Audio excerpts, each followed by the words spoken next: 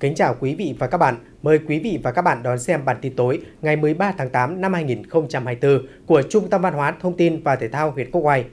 Thưa quý vị và các bạn, sáng nay tại xã Đồng Xuân, huyện ủy Quốc Oai tổ chức hội nghị công bố trao quyết định về công tác cán bộ. Dự hội nghị có đồng chí Đàm Công Lợi, Phó Bí thư Thường trực huyện ủy, Chủ tịch Hội đồng nhân dân huyện, các đồng chí lãnh đạo các ban xây dựng Đảng, Văn phòng huyện ủy, cùng tập thể lãnh đạo và chuyên viên của ban tổ chức, Ủy ban kiểm tra huyện ủy.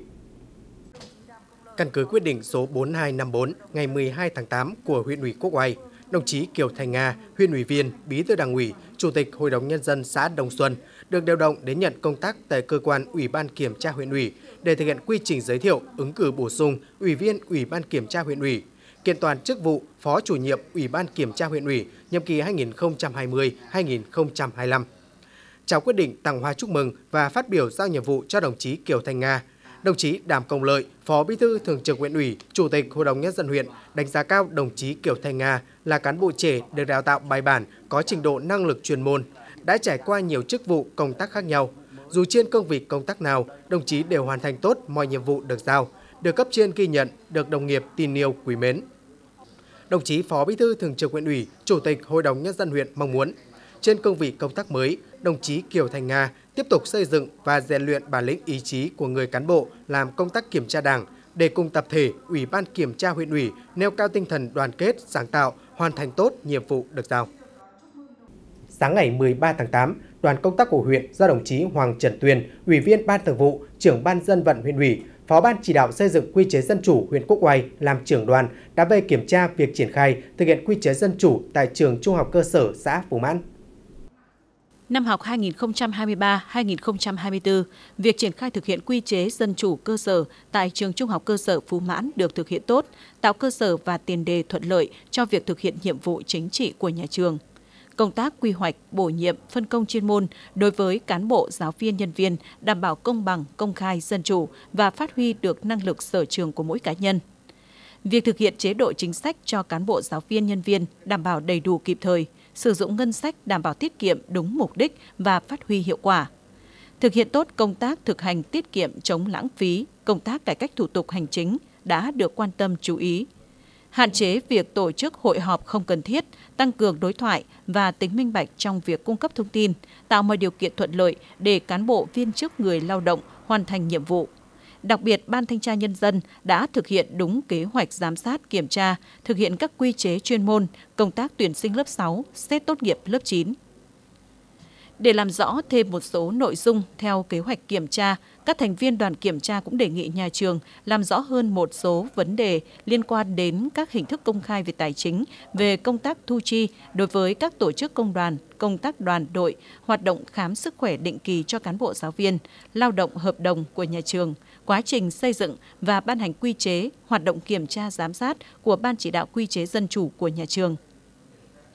Phát biểu kết luận tại buổi kiểm tra, đồng chí trưởng ban dân vận huyện ủy đề nghị ban giám hiệu nhà trường tiếp tục đẩy mạnh công tác tuyên truyền về các quy định thực hiện quy chế dân chủ trong nhà trường, hàng năm kiện toàn ban chỉ đạo quy chế dân chủ, ban thanh tra nhân dân để tăng cường hiệu quả trong việc thực hiện kiểm tra giám sát chú trọng tiếp xúc đối thoại với cán bộ giáo viên, phụ huynh và học sinh, duy trì hiệu quả mô hình cổng trường an toàn để đảm bảo về an ninh trật tự an toàn giao thông trong và ngoài khu vực nhà trường. Đặc biệt cần công khai minh bạch các khoản đóng góp của học sinh trong đầu năm học mới.